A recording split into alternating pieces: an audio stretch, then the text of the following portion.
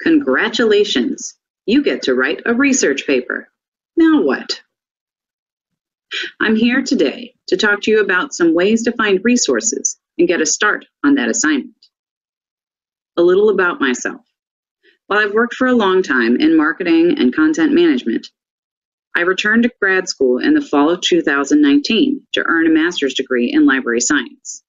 It's not my first master's degree, but the field of research and scholarship has completely changed since I earned my MA in 2002. I've had a crash course in electronic research, working as an intern for SMU, and doing my assignments for grad school. I've been going through the same process as I do my own research and writing. So what are we going to talk about today? The blank page. How should I start researching my topic? Where do I begin? Search results. How do I evaluate what I'm finding? How do I judge when I've found the right resources? And refining your topic or position. How do I take what I've found and turn that into a research paper? The blank page. As you start to consider your topic and assignment, one of the things that will help you is learning more about it. What are some ways to do that? Yes, Google search. Look at Wikipedia. Learn more about the most basic ideas of your topic. For example, I worked with a student last week who needed to discuss whether the idea of community is important to the characters in the Matrix. In order to be able to argue for or against that idea, you'd need to, excuse me, you'd need to define what community is first. Doing some background research to understand the concept of community will help you A, understand the concept, and B, refine your research. Another way to do this is to search for the topic in our Everything search at the library catalog. So you pull up the library website, smu.edu slash libraries, and you see a big search box. If you search for community in that box, what will you find? Hmm, 8 million results. That's a lot. So you start thinking about the topic. What other words might scholars or professors use when discussing the idea of community or its opposite? Society, compassion, individualism. Start searching for related terms or combine them to see what results you get, like society and compassion, or society versus individualism. Scroll through the results and start to see if any of the titles appeal to you. Think of the research process as a way to learn more about this topic. What do you want to know more about? What titles sound interesting to you? If you find a title that's interesting, open its listing in the catalog. You'll see a list of subject headers that can be used to find similar articles and books. If you can open the resource online, you can read through it and see if you agree or disagree with what's being said, and look at the bibliography to find similar resources on the topic. As you become more familiar with the topic, see if we have a research guide on the subject. Our librarians have built guides that will point you to databases on specific fields of research, allowing you to narrow your search to researchers in those fields. The more you search, the more you will find about your topic, and the clearer your topic will, and the form of your paper will become. For example, your everything search can give you clues about keywords to use and what research guides may be helpful. Take a look at this search result for society and compassion. Look at the top here, where it says the search results include empathy. Now we have a new keyword to add to our list. If you're not sure about what research guide would be helpful, look at the subject areas here in the left column by the lower arrow. Are you thinking about community from a social sciences approach? Or how humans act in a community? Maybe psychology. Since we're looking at our catalog, here's a reminder of what you'll see if you click on a resource title. The buttons at the top can be used to save or share the resource, resource information. As you scroll down and see more of the listing, you'll see if you can access them online and then the subject headers I mentioned earlier. There are a couple of common problems when deciding on a topic and doing background research. Unfortunately, it's nearly impossible to create a best topic. Try not to think of your topic, sorry, try to think of your topic as a starting point, not something that can be controlled. Don't limit your topic to the first thing you consider. Remember that topics develop. They're not chosen. Adapt your topic as you search and learn more about it. Start with a basic topic idea and start searching. Use this for background searches to find a topic that interests you. This will most likely lead you down a path that you can develop into a paper. If you feel like you're not getting anywhere, consider rethinking your topic or how you're approaching it. If you're having a hard time understanding what you're finding, you're probably finding very high level research on your topic. Try different keywords to find articles that are more basic and with less jargon. Analyzing your resources.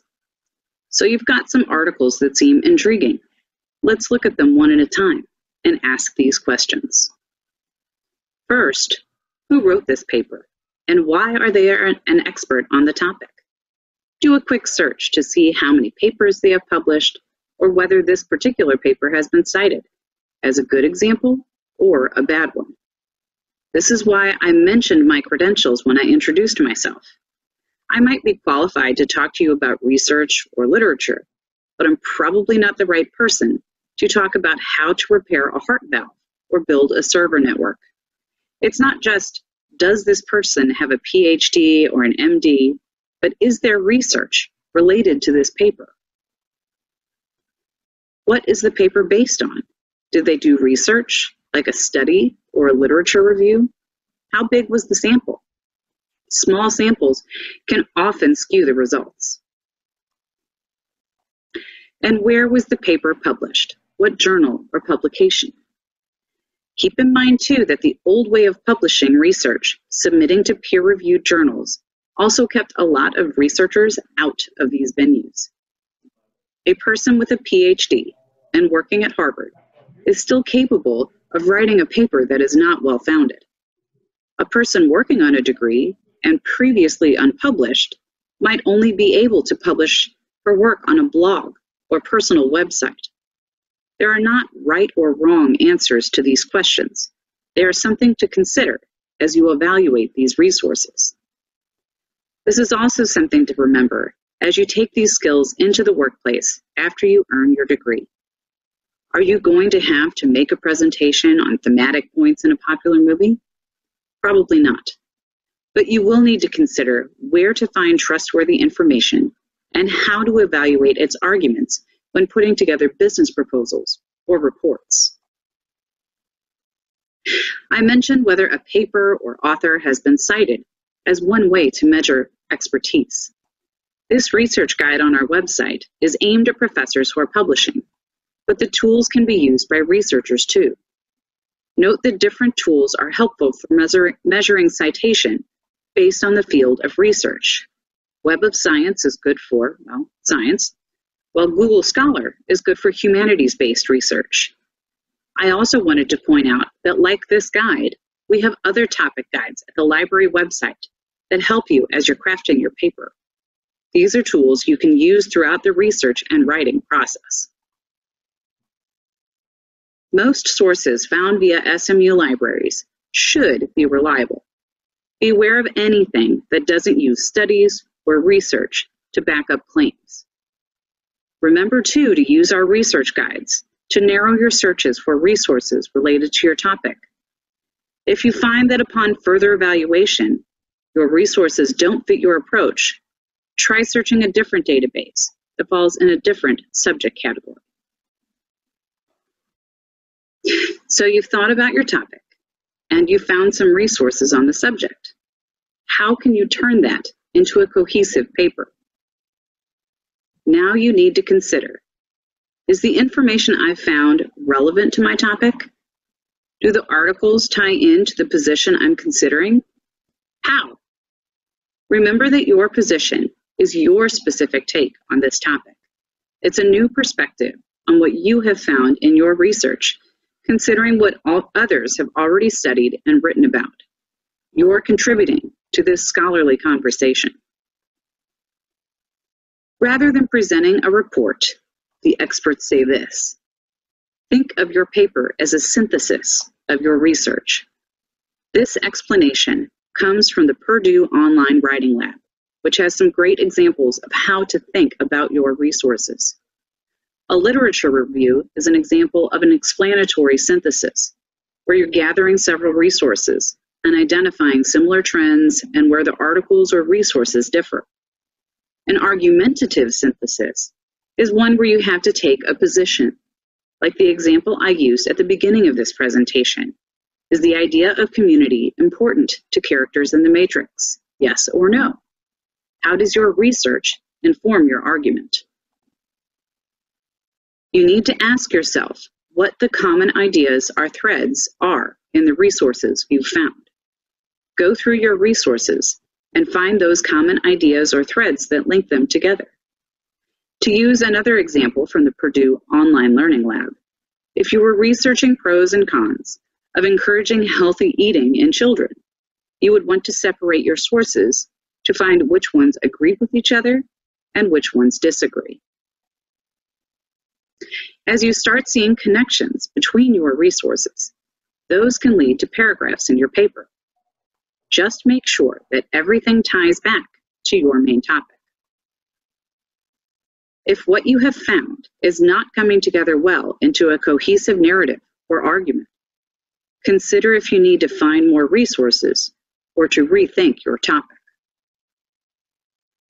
Some final thoughts.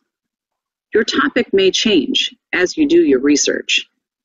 Remember that as you begin the research process, that is when you know the least about your topic. As you search and read through results and resources, you will learn more about it and refine your ideas.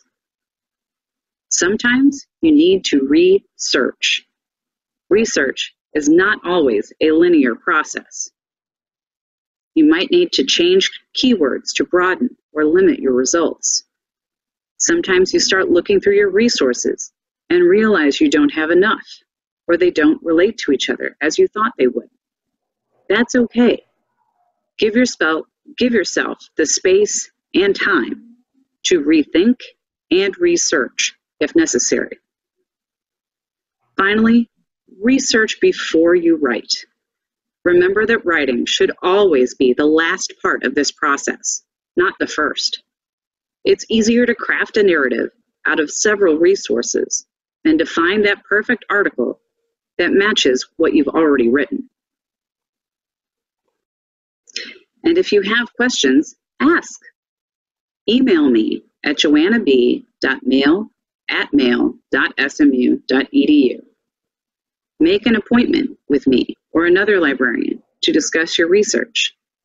Or join us at the Research and Writing Lab on Tuesday from 4 to 5.30 or Wednesday from 11 to 12.30 to talk with both a librarian and a writing tutor. Good luck, and don't forget to cite those resources.